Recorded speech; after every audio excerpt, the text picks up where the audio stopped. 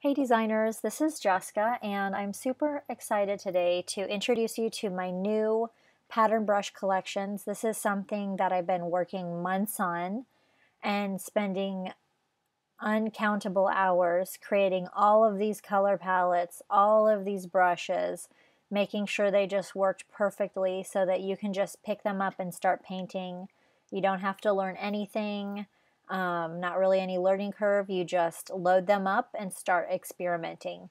So just in case you're not familiar with loading up brushes, patterns, and tools, um, I've got, whenever you open up your uh, collection, whichever collection you get, there's four of them, you'll see a, uh, um, a folder here with brushes, patterns, and tools. and to load them up, one way that you can load them up is just go here, go to your brushes, pick, you know, there'll just be one of them in there double click it and it loads it right into Photoshop. Same thing with the patterns, double click it, loads it right into Photoshop. Tools, double click it, loads it into Photoshop. That's one way to load up the presets, super easy. Also, um, if you're on a Mac, you can just select your preset and drag it over onto the Photoshop icon. It will load it up that way. Um, if you're on a PC, I have a Surface Pro, you can actually um, take it from the file browser and if you have like say the icon of the program on your desktop do the same kind of thing drag the ABR file or the TPL file onto that um, icon for your program and it will do that. And then lastly but not least you can go old school to load them up and go to file and uh, or here edit presets preset manager and we'll just do it this way up here on your top left, you'll see which type you want to load. So I'll click on brushes. I'll click on load, and then I will just load up my Impressionist brushes. Click open. This um, process is exactly the same no matter which collection that you get. So you'll have some brushes, you'll have some tools. Let's load those up. I'm going to load up the Impressionist tools, the main collection. And then you'll have some patterns. These are my pre-made color blends so that whenever you paint, all the colors that are going to be coming out are going to be the blends that I made. So let's load up the patterns. I'll get the Impressionist patterns open. Those are all loaded up and done. So everything's loaded. I'm ready to just start experimenting, start creating. So I'll just um, take a new layer here and then if you don't already have your tools showing, go to Windows, Tool Presets. It'll pop that bad boy out. And then these are the brushes. And you just select one and, and start painting. So I'm going to select, let's see here, one of my favorite ones, brush 36. And when you start painting like this, you'll see the colors are coming out and it's all the blends that I've made here. So there's one. Um, I'll just show you maybe brush 37 here. Let's load up a different color so you can see it.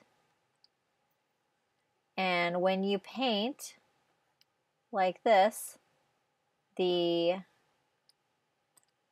all the colors come out like that and you don't have to do anything. So it's really cool.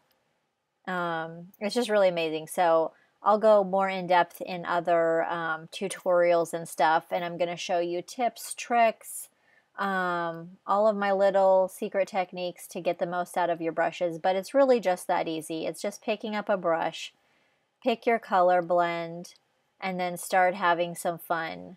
Just um, paint with the brush here and you'll see how all the colors start coming out and you've got all different kinds of really cool brushes that can you can just do so many different things with them. So that is just how to use your brushes. And um, you see that I have I'm using directly the tool presets the patterns um, the color blends are up here in the patterns folder and if you don't see them like this click on this icon here, you can see them as a small thumbnail if you want. You can see them as a large thumbnail if you want, and then or a small list or a large list. But I like them as a thumbnail because I can see the color really um, quickly straight off, and I don't really need to know the names. And you might ask why I also gave you ABR brushes. Well, sometimes I'm using uh, my Impressionist brushes or whatever, and I'm already here on this pattern brush stamp. But if I go over here to my regular brush presets, or you can go Window, um, Brush Presets, you can also, I like to view these as a stroke thumbnail here. So these are my brushes all loaded up, but I can see them as a stroke. So I can sometimes select them more easily um, this way. And I can uh, just, you know, toggle between them. And I've got this nice little stroke thumbnail. So I like that a lot. Um, so sometimes I do just do that but they're saved all here as the tool presets and then of course you have the original brush. And these brushes, you can also use them just as a regular brush, but I had specially um, formulated every single one of these brushes to work really well with the pattern stamp brush because if you just take a regular brush and use it as a pattern stamp brush, you're going to get like a bunch of weird banding and it's not going to look nice like my brushes are. But on the plus side, you can take my brushes and just use them in a single color. Here, I'll put a color in. So it's cool that way as well. Um, so you can do that, but you, you can't just take any brush that you have in your arsenal and use it with a pattern stamp and it look nice. That's why these are so special because I took all the time so that the color is blending really beautifully. It looks nice. Um, and it looks just really cool um, and not like in bands or stripes. So these are very specially formulated brushes. And just one last thing, um, another thing that you should know is that all of the brushes can work with each other. So, you know, the main set is the Impressionist um, Pattern Brush Studio. That's like the big daddy of them all.